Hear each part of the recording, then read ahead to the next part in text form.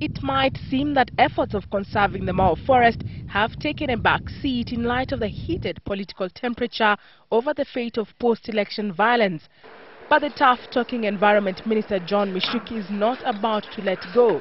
The government may sue anybody seeking to stop its efforts to reforest and conserve the Mau forest.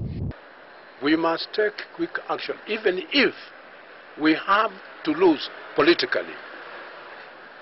The conservation of Mau Forest has been dogged by a lot of controversy. Politicians have been split on what action to take.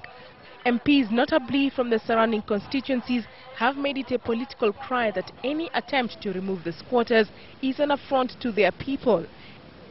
There are laws to govern situations such as Mau. In the meantime, 12 rivers have dried up and more are threatened, including the Mara River, where one of the spectacles occurs, the annual migration of the wildebeests.